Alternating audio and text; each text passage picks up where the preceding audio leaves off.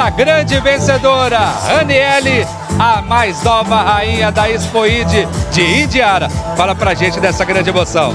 Ah, eu estou muito feliz em ter conquistado esse, esse prêmio e espero representar a minha cidade. É isso. Você já modela há muito tempo, desfila. Como é que tá a sua carreira? Em 2016 eu participei do concurso Miss Estudantil na Elizabeth, Indiara, e ganhei em primeiro lugar. E meu segundo concurso foi esse, ganhando em primeiro lugar de novo. Que coisa boa, né? Tá pé quente. Tá pé quente, graças E, e quais os atributos que você destaca da mais nova rainha aqui da Expoide?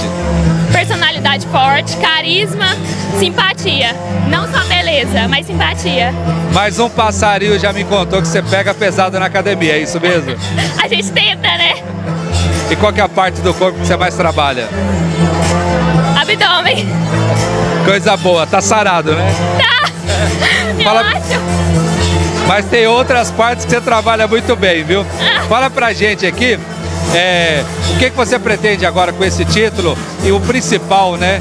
Poder elevar a grandeza do município de Indiara.